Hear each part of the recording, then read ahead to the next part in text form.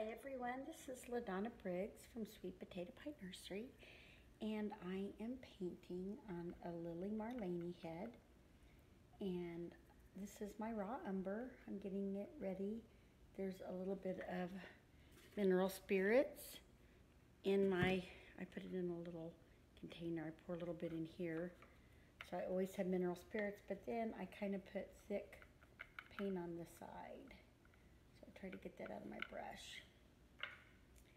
All right, so I've already painted on this head somewhat. I've started painting the hair and I've got this side pretty much done and I just have the pattern on in the back and on this side. So I've still got quite a bit to do. No eyebrows yet.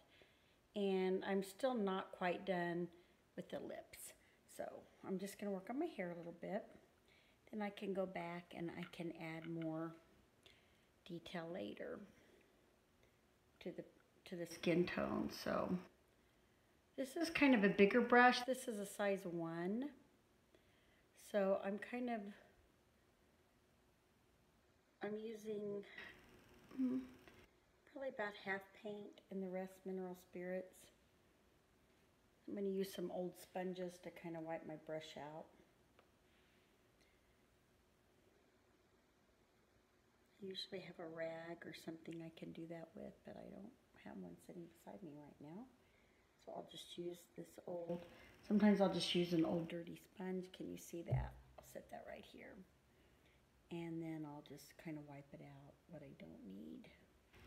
So.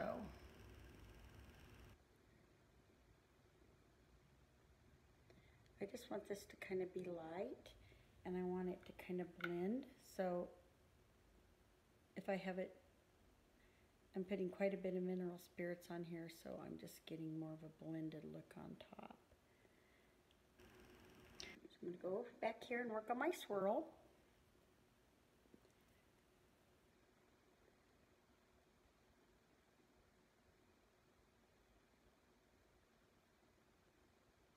I've got some newer, older videos, and I have changed my painting just a little bit, but, you know, not so much that, you know, you still can't follow it and do similar, you know, do what I'm doing. I don't even know what I'm trying to say. But I have changed a little bit probably the way I try to blend a little more than I used to. I think it looks more realistic to blend. So this kind of layer is more of a, a bigger brush and blended. See how that's more of a watercolor look? Where some of my earlier paintings are more of a line and I kind of like it to look more. So I'm following this pattern that I already have on here. And I think one of the mistakes people make when they're painting hair is to make sure everyone lines up. Well, I don't. I like to crisscross and I like to have movement in my hair. So you get movement by, see how I'm kind of making that. Even though I'm going a little bit different than what I drew on there, it's similar. This brush also kind of separates. See that? That gives me a little bit of a different line. Sometimes I can paint a couple lines at once. So this is kind of a just blended coat before I put in the detail. Watercolory looking, even though I'm using mineral spirits. So I don't know if you can see all that.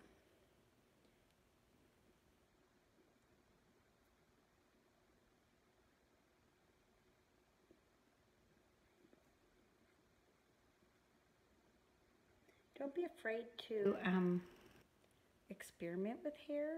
I've gotten pretty quick now where I can do um, a couple doll head, you know, painting their hair in a day. And it's a lot quicker than rooting for me. So I, I don't really root anymore. I'm kind of envious of people that really root good, but I kind of decided this is what I do best. And see how I've got some dirty there, so I'm going to take some mineral spirits. I hope I didn't bake that in.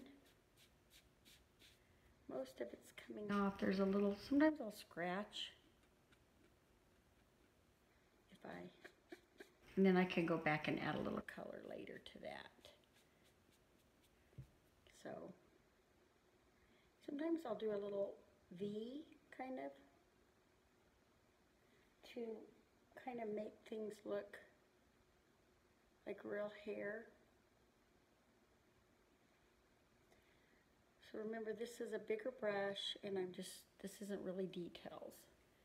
So this is kind of going around, so this is going to come down more. See how I'm painting several hairs at a time with this separated brush.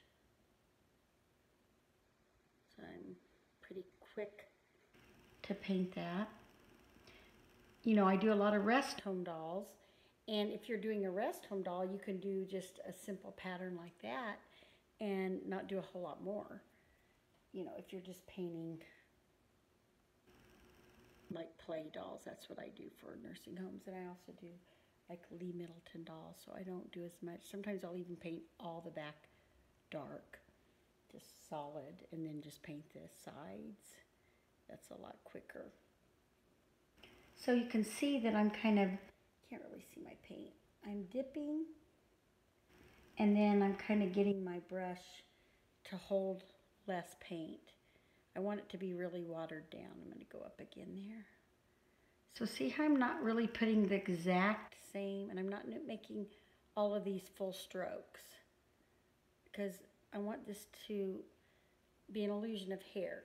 The, you know, when you're painting hair, you want it to be an illusion.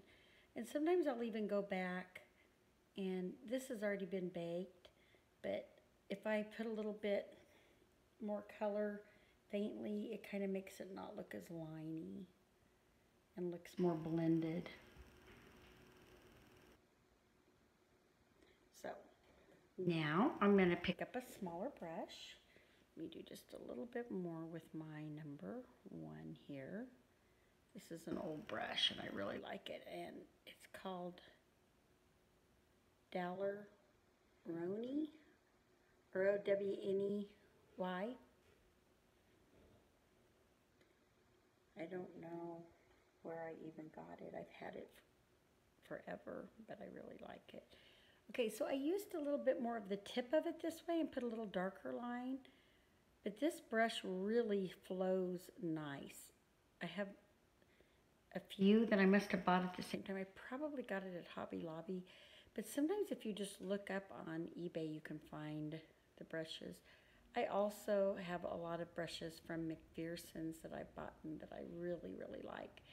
And they actually have a packet that goes with my hair painting tutorial. That, and I will post a link to my hair painting tutorial too if anyone's interested.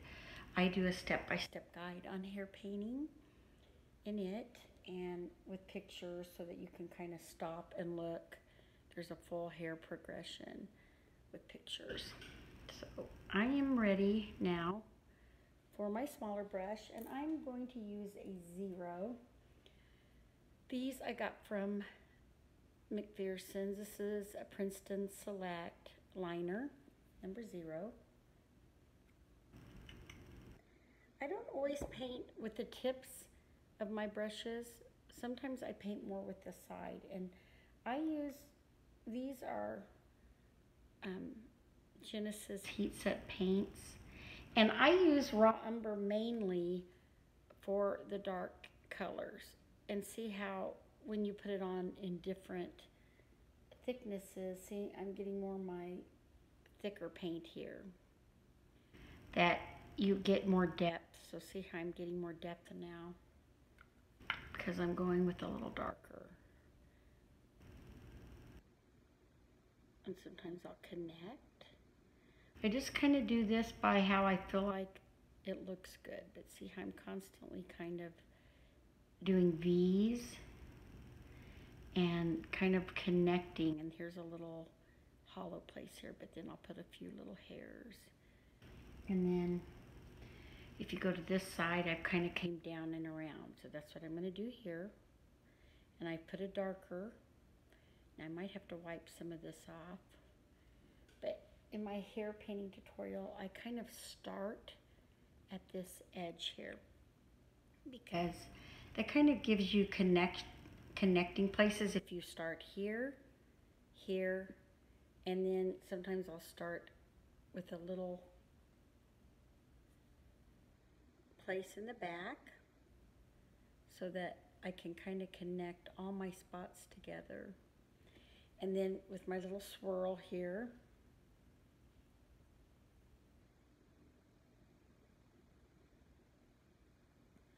and then sometimes I'll make my top and then I just kind of connect them all together. You don't want to just put random hairs. There has to be a pattern. And sometimes, you know, that's one of the harder things to do is learning how to get a pattern. But once you master it, it's not hard at all. So, you know, remember, don't be intimidated. This is a lot quicker than rooting. And I find that I did a few prototypes that I rooted the doll's hair and they actually didn't sell for as much as my painted hair. So I kind of got a little burnout on spending three weeks trying to root hair. so I thought, you know, if I can make as much money uh, painting hair as I can rooting, then why should I root? So I've kind of quit rooting. So I haven't gotten any better at it, which is I kind of want to try it again because I'm seeing some artists that are so awesome. But then, you know, everybody has their style, and I'm always happy for people and when they have beautiful dolls because, you know, I feel like God's given me talent to do what I can do, and I may not be the best artist, but I sure enjoy it, and I'm able to make dolls for my grandkids and I'm able to make dolls for the nursing home. So I'm able to share my talent and gifts that God gave me. And then I'm able to make money and paint dolls. I was a stay at home mom for a lot of years and I raised my three children and then I did was a parent educator for 11 years, so I worked in the school district and I did home visits for parents as teachers, and I really loved that. Um, then I decided that I would start making uh, compos- not making composition dolls, but I started restoring composition dolls and that kind of led to me deciding I wanted to try to reborn. And so about six years ago, I started reborning, and some of my first dolls are absolutely disgusting. Like, I don't even want anyone to ever see them. But that's the thing, you know, some of my first hair was just so horrible, and I thought it looked great. But, you know, they still sold. I just didn't get as much for them. So if anybody has one of my original first dolls, please don't ever post it. but anyways, I I'm teasing. Um, but yeah, I am kind of embarrassed at some of my first dolls. So some of you all that are just beginning, don't be try not to be embarrassed if you're not able to do this. My first ones were really bad, and this is a learning process. I just was determined that I was going to get better. And I probably make close to 100 reborns a year. So I get a lot of practice. And that's the thing. I just keep practicing and practicing. I sold um, every doll. I didn't keep any of them. I just sold them and accordingly, you know. Some of my first ones I only sold for a couple hundred dollars, but it was enough to get new supplies and to practice some more. So the main thing to do is just keep practicing and you'll get better. So see how I'm kind of blending that in as I go. And I'm kind of staying with the pattern. And let's flip to this side because even though they look kind of different, it's still similar. And if you look from the front, and I'll bring how I brought this hair up, I'll try to bring this up equally. I will use a little smaller brush for that. Here's a 05. This is also a brush, a script brush I got from MacPherson's. I like this brush. And there's another one I use from MacPherson's that I love. That is a tiny brush. I have so many brushes.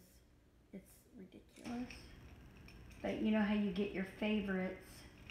Somebody told me the other day about nail brushes um, that people use to put fingernails on. And I thought, well, you know, I'll try those. They were poop. They were horrid. Um, so don't waste your money on buying fingernail brushes unless you know something I don't know because the ones people sent links to on a doll forum were horrid. And so this is a Reborn FX mini script. It's 20 0 and I love this brush too. This is really good for tiny hairs. It's smaller than 05. I'll show you. So MacPherson sells this brush um, see how you just get this little tiny. And I just, I don't put much paint with mine. I don't know if you can see. Let me move my thing over. Like, I just get a little, my paint palette looks messy, but see how I'm just getting teensy bits of paint. You probably can't even see this, but this is making really fine lines. I do a lot of crisscrossing on my fine lines because kind of hair looks like that. You know, I was looking at my little granddaughter. She's four. She has wonderful hair. Her ponytail's already thicker than mine, and it's all curly and beautiful. She's just gorgeous. But I was looking at her hair. She has a lot of hair in the front front that's thinner, and it looks similar to this. So I couldn't even look at my grandkids to see. I have um, two that are under or right at a year, and a six and a four year old, and we have a new one on the way. So I have lots of babies to look at. Kind of look at hair designs. We don't have many babies that ever have hair. We have to wait a year for it to come in, but okay. So I've I've switched to my script 05 and I think because that one wasn't quite thick enough for what I need. Um, I need to build this up. So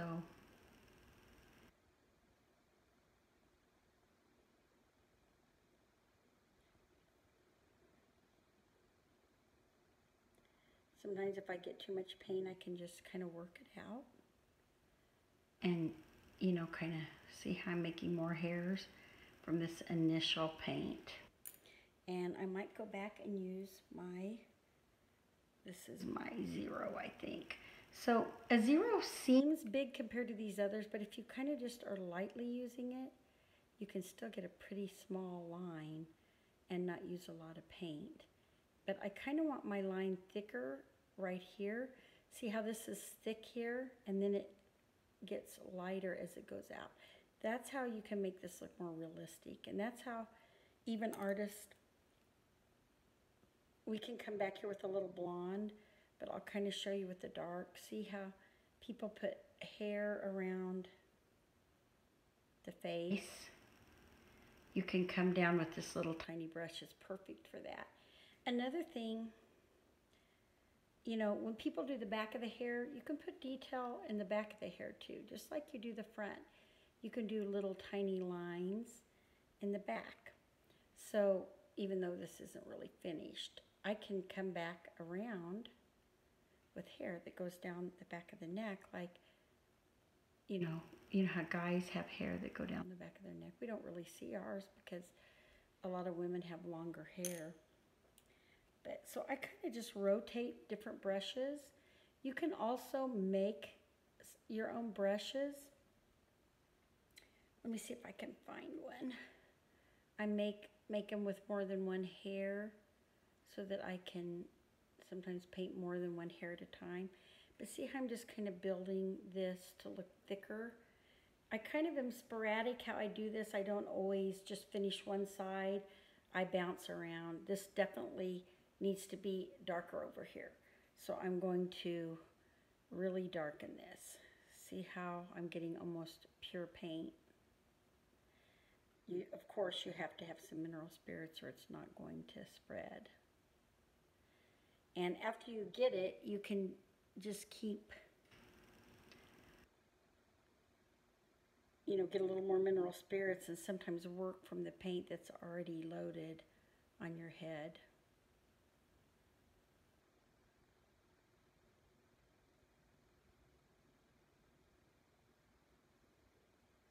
Let me turn back around for reference because I kind of like to try to keep them similar. And remember, if I mess up, I can always go back and wipe it off. I did bake before I started painting again, but I probably need to bake here in a little bit because I'm layering quite a bit. And if I mess up, I always stabilize my hand with my pinky. I've got a little paint on the ear. I gotta wipe it off. So I find a place on the head that I won't smear the paint. I'm going to use the ear. So sometimes I have to go back and touch up face paint. So that's why I kind of do that finishing touch at the end. But see, I have a cousin, the first cousin that paints signs um, close around this area. He's a sign painter and he uses a stick to stabilize his hand when he paints. That's one time he helped me paint a sign whenever I was really young. I don't know why. I told somebody I would paint a sign for him. I had no clue what I was doing, but he helped me with that. And that was something he, I remember him telling me, and I was thinking, why? That looked really hard to do. But I found whenever I was painting with my reborns that I always stabilized my finger you know, my hand with my finger whenever I was painting. I just naturally did it. Because otherwise you're, it's hard, you know, try to just, for me to make, I'll try, I'll do it with this line. That's really hard for me where I can just really quickly do it. So if you're not used to doing that, you might practice because it really makes you be, it really helps you to paint a lot faster.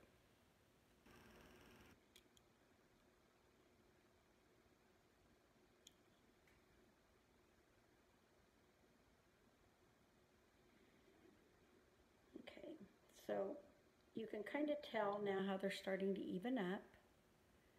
And so here's a different, I'm going one direction here and I'm going the other direction here. So you, I'm going to darken this a little, but then you don't want to just leave your edge dark. You're going to lighten as you go down so this blends in and looks natural. So you don't want to just have dark. And I don't want to just have a line. I need to make sure I always kind of make it V off. So that might be a little darker than I want, so I'll lighten my... So I'm going to be teaching classes at Rose and the Kansas Doll Show in 2021 since our we were canceled this year. Um, I am going to go ahead and teach next year, but I'm going to be teaching a reborn class for just skin tones and at Rose. And, you know, I don't, I'm pretty quick with my reborn um, skin tones. I, I've been on some forums and I've heard people say they use like 20 layers and I'm, I just, I think, well, like something must be wrong with me because I don't use 20 layers. I do about probably eight to nine and that, in, you know, that includes, you know, what I do with sponges too. So I've kind of gotten to where I can paint pretty quickly and then since I'm not rooting, I am able to paint hair pretty quickly. And I always do my best with each doll. Um, but I don't probably take as long as some people do.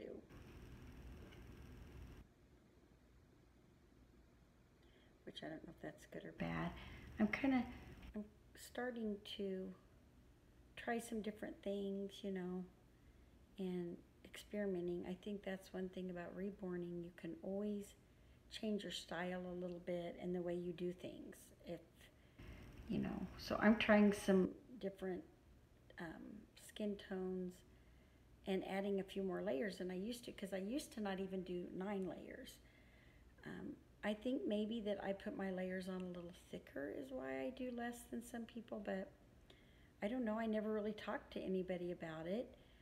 Um, I just was reading that and I was just kind of surprised that people spent that much time.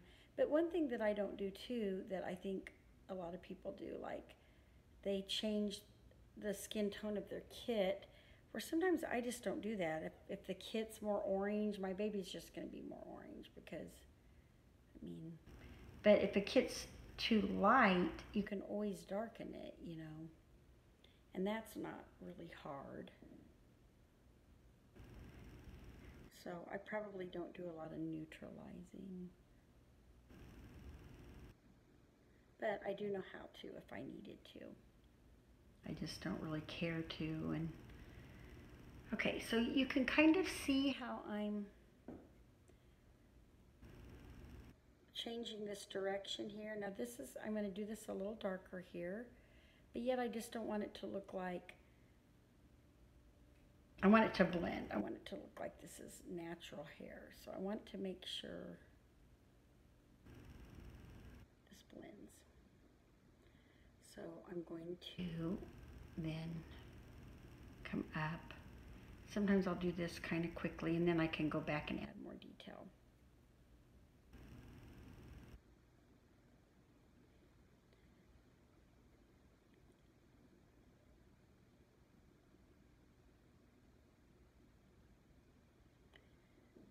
Right, that's starting to look more finished.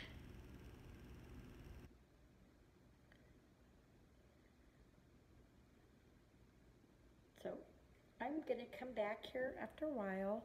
I'm going to sign off and, well, maybe I'll do a little bit on the top of the head because I haven't really showed that to add depth. But um, I've already painted quite a lot of little tiny detail in the front with my teeny weeny brushes I showed you.